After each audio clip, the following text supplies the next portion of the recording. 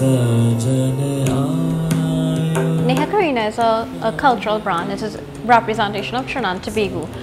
Neha Karina is one of the first in the Caribbean to manufacture lo- uh, clothing locally of Indian ethnicity, in such that we are known for importing clothes in our Caribbean culture. So, in our aspect of taking things to a little different in our niche, we decided to produce this clothing locally, from the embroidery to the handwork to the silks, the fabrics, you name it all, we do it.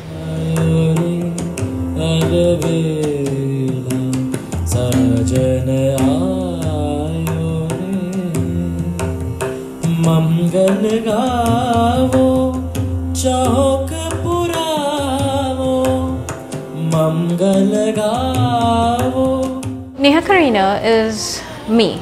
I'm an Indian classical dancer by trade. Um, I am a Kathak dancer, which is in, of a certain type of Indian classical dance. And being able to be a performer on stage, I found the need that I didn't want to look like a typical performer. I wanted to represent costume, a certain color palette. I wanted to do something different. So what I took into consideration starting to actually draw my outfits, get it made, and perform.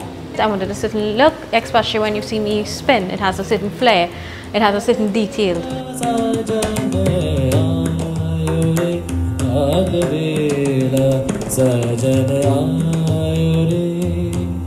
My clientele can be anybody. I just want to make a dream come true. The dream is that when you wear Neha Karina, you feel classy, you feel like a goddess, you feel like a king, you feel like a queen, you should feel like yourself with a confident smile. My aspiration for the brand um, is that it has been in existence for six years and I just don't want to keep it as a Caribbean brand. We have a creative culture of Trinidad and Tobago which is not being recognized as much in our island and we have each and every designer here in Trinidad and Tobago is so talented with their own art and culture and craft that is not recognized and we need to put it out there so all of us should actually aspire for such. सजन आयो रे मोहे अति मन मित सुख पायो रे रे सञ्जन आयुरे सञ्जन आयो आयो